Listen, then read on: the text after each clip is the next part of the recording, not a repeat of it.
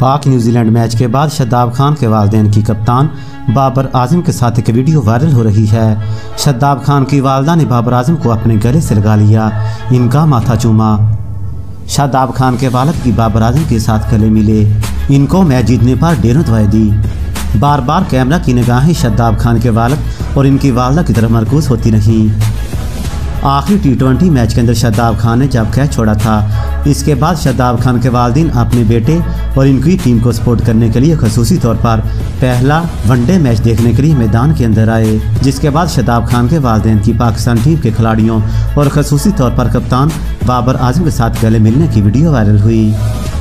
एक नकाब ओढ़े हुए लड़की पर कैमरा मैन बार बार कैमरा भी मारता रहा, जिसके बारे में सोशल मीडिया पर सार्फिन का कहना था, माशाल्लाह ये शदाब खान की बेगम मलाइका सकलैन है, जो कि पाकिस्तान टीम के कोच सकलैन मुश्ताक की बेटी हैं। शदाब खान के वालदेन के लिए वीडियो में एक लाइक तो बनता है।